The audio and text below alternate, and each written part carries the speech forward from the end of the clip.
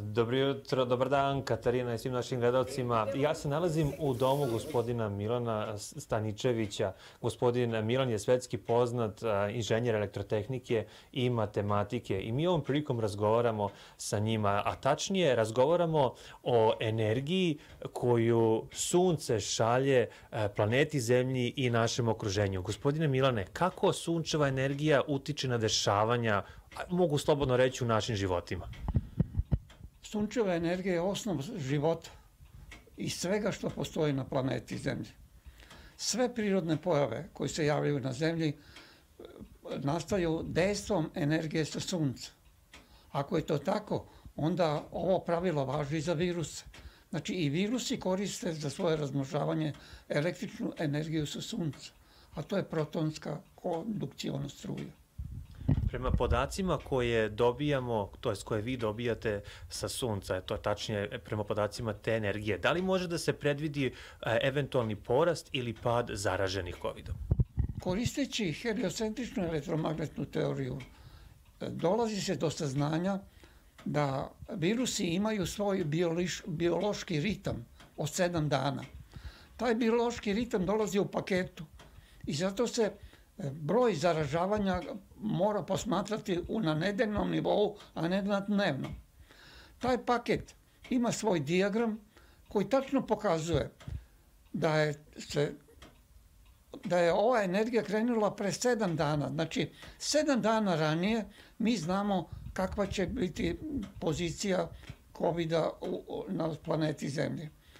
Međutim, dolaskom tog saznanjem za taj, o tom dijagramu, mi možemo da damo prognozu tri meseca unapred, da, tri, tri, tri sedmice unapred, da li će da dođe do porasta, porast zaraženih ili do pada. Trenutno dijagram pokazuje da se, će u naredne tri sedmice doći do velikog pada broja zaraženih. Evo pitanje za kraj, na koji način lepše vreme i veći periodi sunčeve i sunčevih zraka utiču na celu takvu situaciju?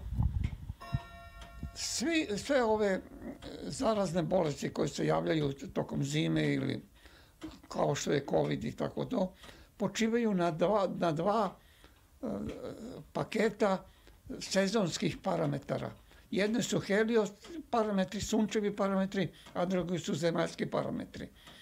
Sunčevi parametri daju mogućnost širog zaražavanja planetarno, dok zemaljski parametri daju samo regionalno ovaj, zaražavanje.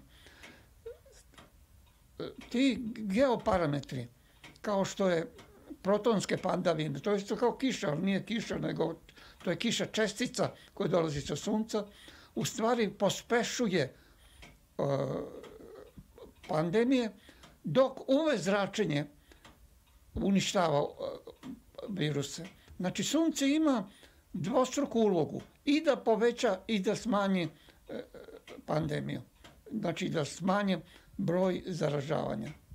Imam pitanje za kraj, da li to znači da nam u narednom periodu e, sledi i smanjenje broja zaraženih? Da, u, u, u naredne tri sedmice na osnovu meteorološkog, biološkog ritma virusa možemo da tvrdimo da će doći do smanjenja broja zaražavanja. A to zavisi prvenstveno, brzina tog smanjenja zavisi od vedrine. Znači, oblačnost i protonske čestice treba da, se, da budu što manje a sunčani dani što više. Zato da bi dobio čovek odbranu od virusa, mora da se sunča. Sunčanje je osnova celokupnog celokupne zaštite čoveka. Sunce daje sve vakcine protiv sezonskih, ali sunčanje Mnogo vam hvala što ste izvojili vreme i sa nama podelili jedne ovako zaista interesantne i zanimljive podatke. Toliko od vaše ekipe sa terena, ostanite u Skjepi televiziju.